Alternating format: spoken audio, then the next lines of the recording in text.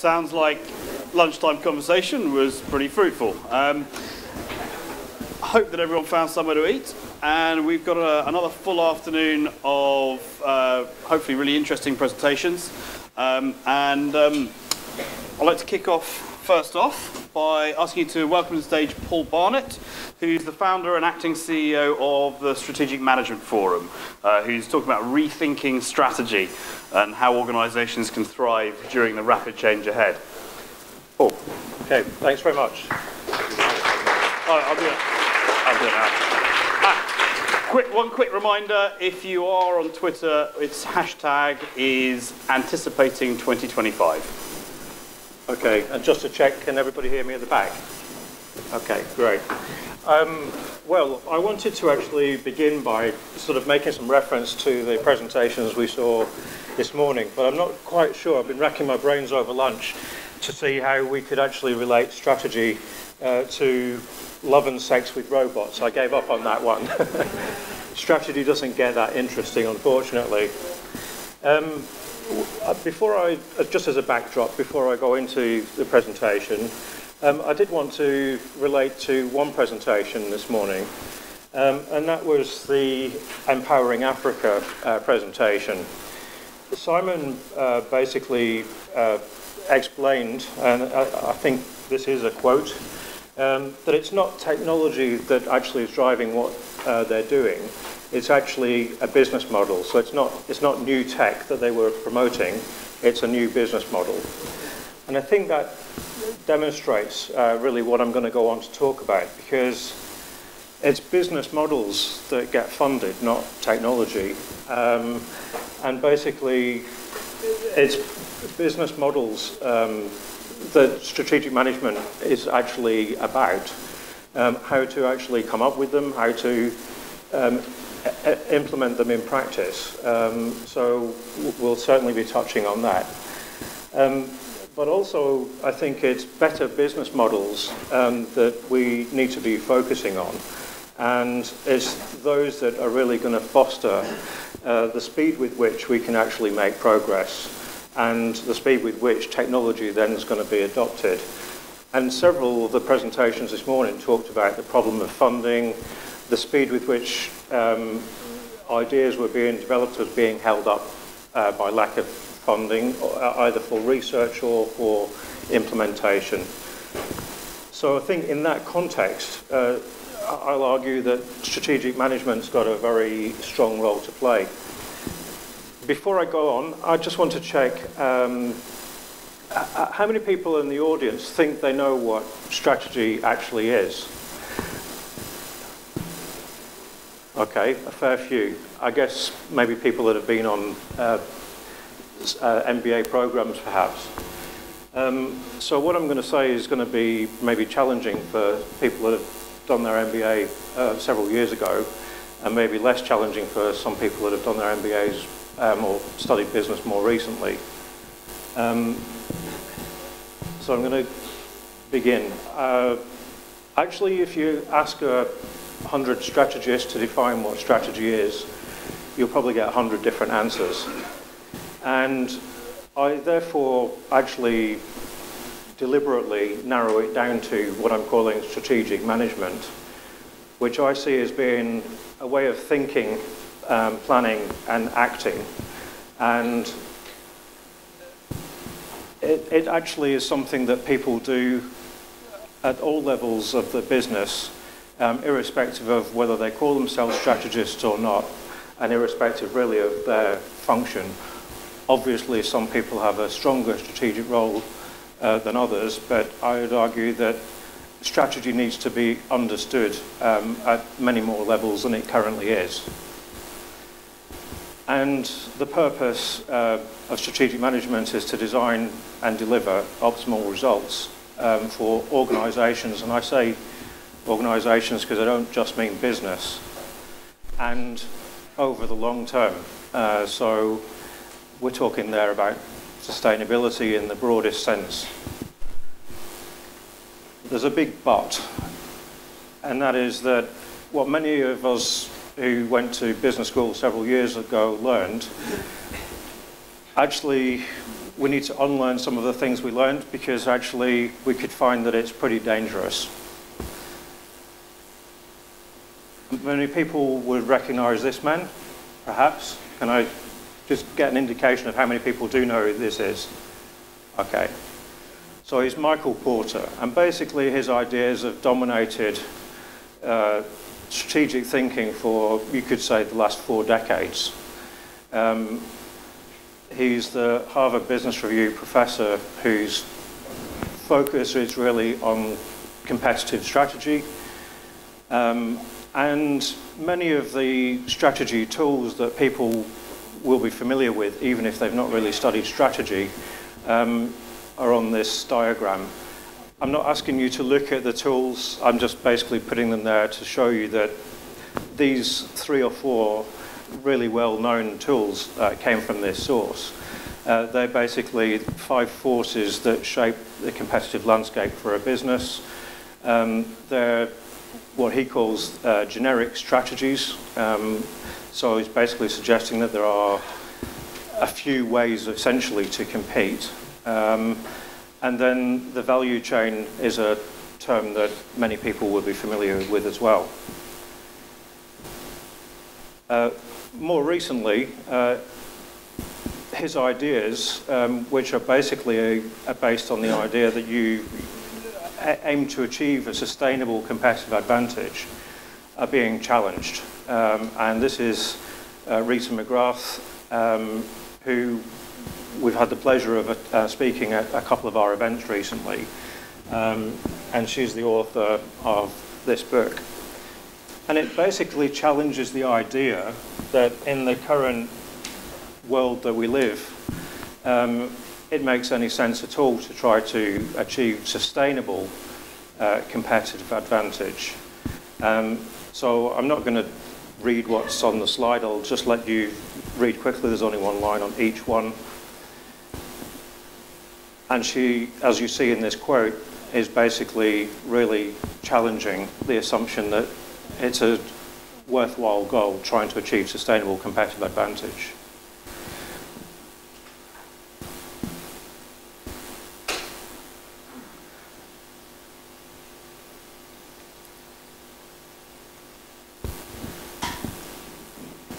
Okay, the reason that it's not um, a, a, goal that maybe is now worth fighting for, it's not because we shouldn't be looking for competitive advantage. Um, it's just that advantage is increasingly transient, and that's the word that she uses. I actually think the book would have been better titled Transient Advantage. And is that the speed of change, so she basically suggests that we should be looking for uh, the next advantage all the time, and ideally building uh, business models that provide us with a portfolio of advantages that are at different stages of development. But just going back to Michael Porter, um, there is still some merit. I'm not discounting Michael Porter for one minute. Um, there's merit in, in his arguments, but I'm sure he would be the first to actually recognize that things are moving on. The strategy that he and most of his contemporaries have been talking about for the last four decades are really about strategy of an industrial era when it was basically relatively stable um, competitive landscape. You know, not that long ago, uh, a Fortune 500 company could probably be relatively likely to expect to be in that category for 75 years. That figure is now 15 years. Uh, they'll fall out of the 500 and many will disappear altogether. And we know plenty of casualties, Kodak, blah, blah, blah. So, but in, in that area, the, uh, the, sorry, era, the idea was that you find your competitive space um, and, and, then you build barriers uh, to defend it. And at that time, you could invest heavily. Uh, life cycles of products were longer, um, and basically investing in a lot of physical assets was the way to build those uh, barriers to entry to prevent um, competitors coming in. standardizing processes, which often required lots of physical assets to achieve, um, was a way of bringing down cost. And, and basically the focus was on efficient processes. Um, I mean, that's, I think, going to be familiar to, you know, most people, even if you haven't studied business, but uh, these are some of the sort of strategy jargons that um, people would, uh, that have studied business would know and others may not. But all of these uh, are attempts to basically improve performance. Um, that then is really sort of about bringing down cost, maximising efficiency, sustaining the advantage for as long as possible. This diagram shows um, the typical life cycle um, of a business, and it's a diagram you'll find in nearly every uh, business textbook. Uh, but if you look at the actual shape of th these curves, um, they're actually not that dissimilar, whether you're talking about the life cycle of a company, a product, the life cycle of customers or technology. Um, and tip, a business will typically go, go, through these various different stages. To be honest, um, that's not changed that much, apart from the fact that the bottom line, which is time, uh, means that that cycle is just going faster and faster. So how do you uh, deal with a situation like that? I mean, if you want, if you invested massively in assets, you probably won't get the time to actually get the return on assets that you necessarily need. So Rita's basically, in contrast, um, arguing that we need to accept uh, rapid change and the fact that any advantage is going to be transient. We need to deal with short life cycles. Um, we need to deal with low barriers to entry, much uh, greater global competition, which again didn't really exist when Michael Porter was talking four decades ago. Um, and she talks about the idea that what business needs to be doing is basically focusing on surfing the waves of uh, transient advantage, um, being really aware of where the next advantages are likely to come from. So it's great to be able to sort of listen to futurists and get some perspective on that. Um, but it's really, where is the value um, in the technologies that are being developed? So again, I'm coming back to the business model because uh, Rita, I heard speak last week, said basically the thing to do is sort of, well, we're thinking much further out, but she said as at least a starting point, think five years out and work out what your customers are going to be wanting in terms of value in five years' time and work back and work out what that means in terms of what you should be doing in the business today. Um, then you can actually start to bring about change and she recommends embedding uh, innovation and not considering it to be just an exercise. The problem we've got is that actually most businesses still practice uh, strategy of the industrial age, still looking for competitive space, still looking to maximize uh, competitive advantage. Um, and that's where we really hit um, a problem. Um, the speaker that mentioned that most people on boards are over 35. Um, that may be part of the reason for that, but I'll leave that one for now. Um, and I think the problem is as well that many people still really misunderstand what strategy is all about, even people that should know better. This was um, an article in American Banker magazine from only a week or so ago. And for several reasons, um, strategy often fails to deliver what people expect. And in this article, I think the author actually really illustrates that point very well he suggests that strategy is fundamentally an exercise in forecasting and planning. Um, no wonder he thinks that strategy kills um, innovation.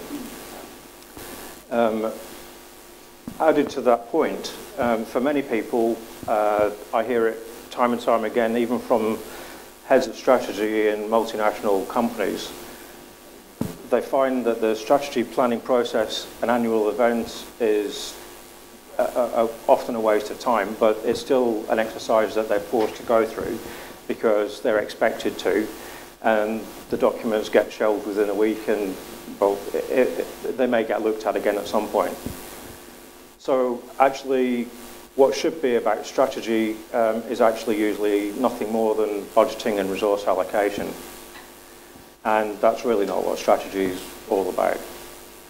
Um, I argue that strategic management is about working out how to survive and thrive in a world of transient advantage. And the cases we heard this morning, I mean, I think this is the, the challenge that they're trying to deal with. So I think at the moment, very, very few companies have mastered the um, ways of dealing with transient advantage and actually don't recognize that doing so is in itself um, an advantage. So learning how to surf the waves is going to be the key. Um, I can't obviously in the space of time go through all of the tips in the book and I'm not going to read through the, the list that's here. I'll just leave this um, slide for a few minutes. And just, these are some of the rules uh, that I think um, are worth making note of. Um, a clear sense of uh, strategic direction, uh, actually having very few big um, objectives so that people really fully understand them um, is, is, is actually an important part of it. Continuously morphing, I'll just pick up one or two of these points. So Rita's argument is that, uh, like strategic planning, um, innovation shouldn't be a, something that you do as an exercise occasionally. It should be a continuous um, process. And I'll hint at one of the items on there, which is about having social architectures to deal with um, innovation and change. Uh, she's saying that the companies that get it right, um, their people actually spend a lot less time worrying about their roles and change than organisations that don't have a structure in place. Um, and actually, well, they hire the kind of people that thrive on, on change. Um, but the thing that actually anchors uh, and helps deal with the sort of paradox of stability and change at the same time the stability comes from the values and the culture, um, and the change is basically constantly being uh, triggered. And then the last point, rewards and incentives need to be aligned. Uh, now this is a, how, how to actually bring about the constant change that we're talking about, and resource allocation within an organisation is really key. So again, it shouldn't be an annual exercise. Resources, uh, she recommends, should be actually uh, reassessed uh, continuously and decisions made at least on a quarterly basis. It's, so you don't wait for the next year to decide where resources should be being shifted to. Um, it's a case of working out where they can be best optimized and do that fast. Uh, so one of the big differentiators between the firms that get it right or not is the way in which they actually deal with allocation of resources. Uh, related to that specific um, thing is basically you don't want fixed assets. Um, assets which were being used, um, especially physical assets I'm talking about, um, which were used to create the barriers to entry. Now, basically, they achieve exactly the opposite. They give you a big competitive disadvantage because it actually brings about what you, uh, well, Rita and others call uh, inertia in the business. There's always a reason because you haven't actually uh, written off the cost of the assets to keep trying to make those assets work, even if you should be shifting to something else. Um, McKinsey put the comment in a slightly different way. I like the phrase, put your money where your strategy is, um, and actually use the money to bring about the change in the strategy. So uh, the argument is that strategy should move at the same pace as change. uh, the change in the business. Unfortunately, um, and this is what McKinsey found in only 2012, most companies don't do this, and that's big companies too.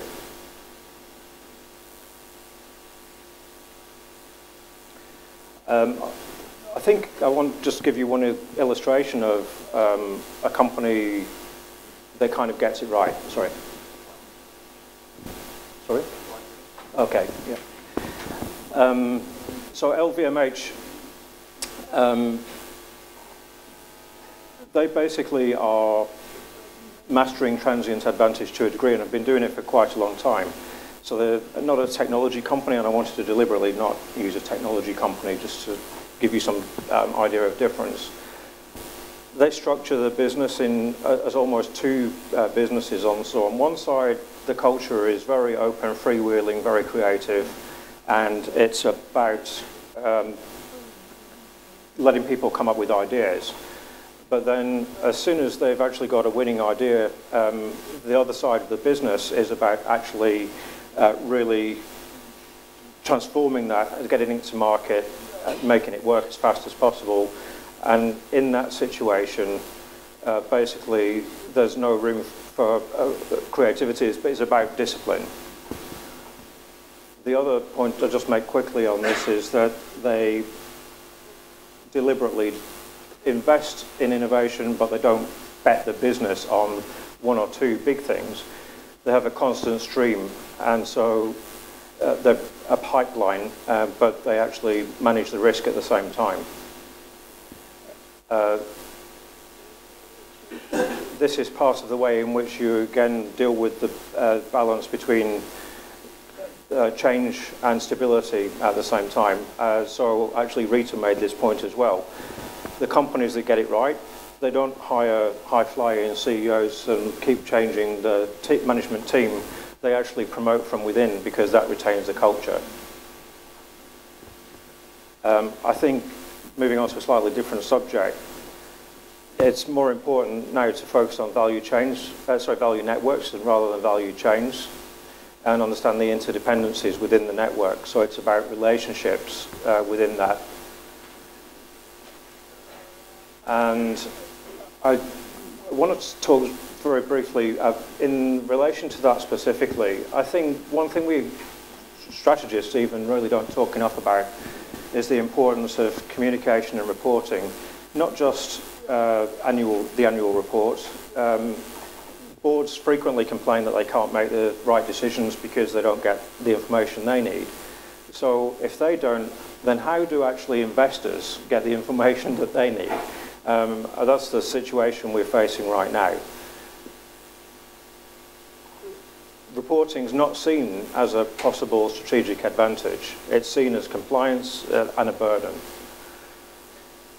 What it means is if the, if the information being communicated is bad, you get bad decisions by the board, investment opportunities get lost, the, the cost of capital is much higher. I talked to an investment uh, manager from ING Bank and basically, you know, they, they just factor in the, uh, the risk as extra costs. So many companies are paying too much for the financing that they get. Um, and also greater share price volatility if you don't actually signal and give information properly to shareholders. Um, and one point I want to make is that it's not necessarily about value that's being lost, it's about value sometimes that's not being added. And this is an interesting example. Warren Buffett, who doesn't normally invest in tech companies, um, actually delayed investing in IBM for five years, but when he did, he invested 10.7 uh, billion. So that gives you an indication of what the value of what might not be added um, can be by actually not reporting very well.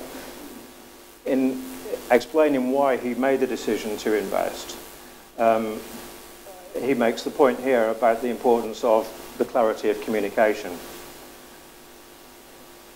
You need to tell the investor why they should be investing in very clear terms. Many companies are really bad at doing that. Um, right, I'm coming to the end and we can do some questions in a second. I just wanted to uh, briefly explain that Strategic Management Forum, we're a year old and uh, what we're trying to do is promote uh, strategic management for the information age. Um, our purpose is about trying to advance the professional practice of strategic management. It's not, at the moment, a profession. And we believe that actually professional strategy uh, professionally practiced can transform the fortunes of businesses, organisations and society, and that's really where we're coming from. Um, a quick plug there, actually, um, for the book as well. Um, so a free copy of the book if anybody wants to join the organisation and learn more about strategic management. And my contact details there. I'll take some questions. Thank you very much, Paul.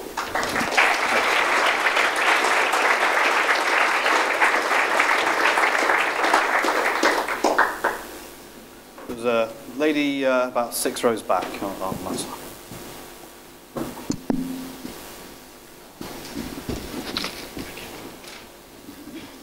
Hello. Um, hi, I'm particularly interested in examples. Uh, do you have any other examples than, say, Louis Vuitton who you think are doing this well, even if it's not perfectly? Sorry, did you catch that? So, yeah, I'm not sure. Sorry, can you repeat the question, please? Sorry. Do you have any other examples of companies other than Louis Vuitton who you think are doing this very well? Um, well, actually, I went to a very interesting presentation, um, and Google's one of the other companies, it seems, uh, that really understand it. Um, uh, some research I'm doing at the moment is actually into the importance of reputation, and I think that everybody inside and outside uh, Google really understands uh, what their reputation is, and through that, it's very clear uh, what their strategy is. Um, so I, I think um, they're a company that also are, are getting it right. Um, IBM would, uh, there are in this, uh, in the technology space, uh, probably a, a number of companies that are getting it right. They're not really well case studied at the moment, that I have to say. Somebody else here. Yeah. Um, my name's Bobby Hyam. I work for uh, one of these big companies that is probably struggling to adapt to change, and I, I like the ideas around, um, you know, realigning resources quickly so that you can react to changes in the market. But when you're in the business of selling, for example, enterprise software that typically has very long sales cycles, and you're selling to organisations that expect your, uh, they expect stability in your product roadmap, in the people that they deal with on a day-to-day basis, um, how do you then go about realigning resources very quickly because that will not be what your customers are looking for. Well, I, I mean, in that case, you're, talk, you're talking about products which have got a long tail revenue stream as well. So you should continue funding uh, at the appropriate level, um, but at the same time be investing in whatever the next wave of revenue is going to be. So it's, it's not about switching everything from one thing to the other. Um, it's about adjusting where the resources get put um, so that you're fueling the next. I mean, this, uh, I talked to a strategist at Airbus, um, and they actually are dealing with this at the moment. They've got a fantastic order book for the products they've already got, but they're already working out that they've got an issue in terms of working out in 15 years' time where's the, where's the value that the clients want and where's the order going to come from. It's not the products that they've got now. I don't know if that answers the question. I, we can talk more about it afterwards anyway. There's a last question here. Um, it's quite Could, could fascinating. you hold the microphone? It's quite fascinating how different what you're talking about now is from sort of what we talked about in the in the morning.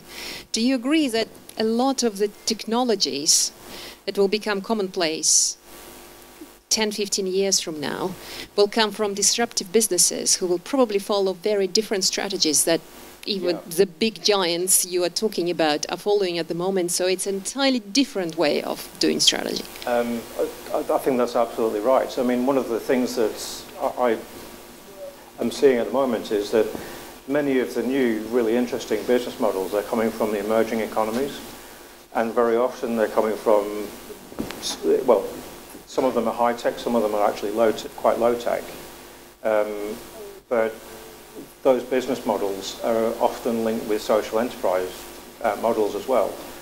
And I actually argued in a, I do a daily email strategy snack to provoke thought around strategy issues.